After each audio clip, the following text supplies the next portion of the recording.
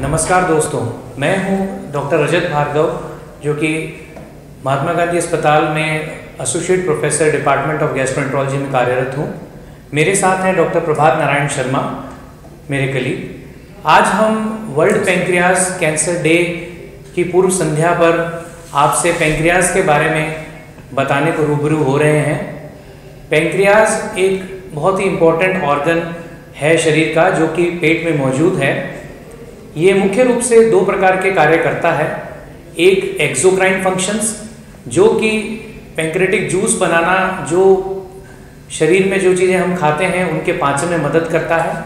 और दूसरा कार्य है, जिसको हम एंडोक्राइन फ़ंक्शंस कहते हैं, वो मुख्य रूप से तरह तरह के हार्मोन्स बनाता है, जिससे बॉडी का जो मेटाबॉलिज्म होता है और बॉडी की शुगर के लेवल्स को कंट्रोल में किया जाता है।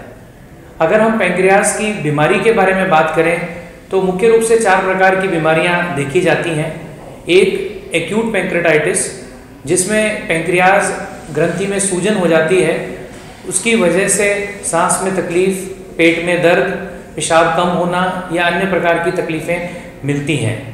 ऐसे में मरीज़ को तुरंत भर्ती करा के और दवाइयों से इलाज किया जाता है।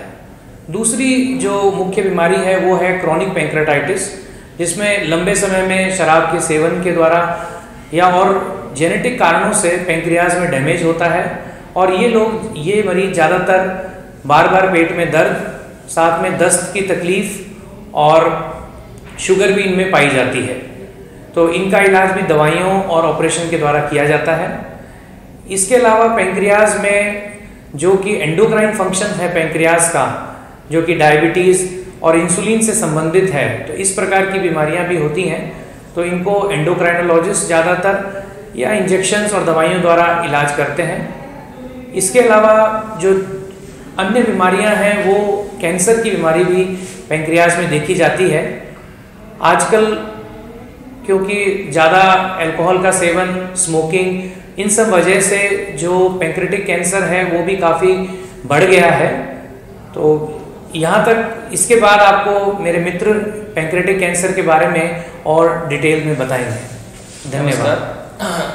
इक्कीस नवंबर को World Pancreatic Cancer Day celebrate किया जाता है। इस डे का उद्देश्य यह है कि ताकि आम लोगों के अंदर जागरूकता बने कि इस घातक बीमारी के बारे में वो ज़्यादा जागरूक हो सके।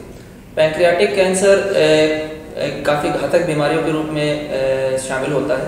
इसके लक्षणों में मुख्य रूप से पेट में दर्द, खासतौर से वह दर्द जो कि पीठ की तरफ़ जाए, टट्टी के अंदर बदलाव, जैसे कि टट्टी का रंग बदलना या टट्टी के अंदर ज़्यादा चिकनापन आना, पीलिया हो जाना, पुरानी शुगर के मरीजों की शुगर अनियंत्रित हो जाना। ये मुख्य रूप से चार या पाँच लक्षण होते हैं जो कि एक इंडिकेशन देते हैं कि हाँ मरीज़ को पैंक्रेटिक कैंसर की तकलीफ़ हो सकती है। इसके बीमारी के इलाज के लिए प्रमुख तौर पे अर्ली डायग्नोसिस बीमारी का शुरुआत में ही उसको पकड़ लेना, ये बहुत ही महत्वपूर्ण आता है। अगर बीमारी शुरुआत में पकड़ ली जाती है तो बीमारी को पूरी तरह से क्योर करा जा सकता है। मरीज़ को बीमारी से निजात दिया जा सकता है। और जितना मरीज़ के डायग्नोसिस में लेट होता है, उतना ही ये बीमारी घातक रूप लेती है। तो अगर इस प्रकार के जैसे लक्षण मैंने आपको बताया ऐसा कोई भी लक्षण आपको लगता है तो आपको जल्द ही अपने डॉक्टर को संपर्क करके इसके बारे में पता करना चाहिए। नमस्कार